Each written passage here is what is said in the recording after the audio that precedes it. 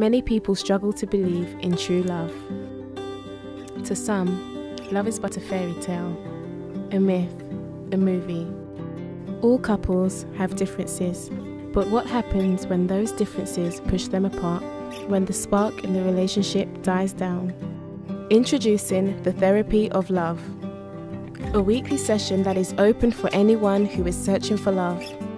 Our aim is to assist singles and couples in finding love and a lifetime of happiness together. We provide advice and helpful sessions for anyone searching for true love. Don't settle for an unhappy relationship. Take charge of your love life, build up your confidence, and find the right person for you. Saturday, 7 pm, only at the Rainbow Theatre. For more information, call 020 7686 6000 or visit our website, thetherapyoflove.com.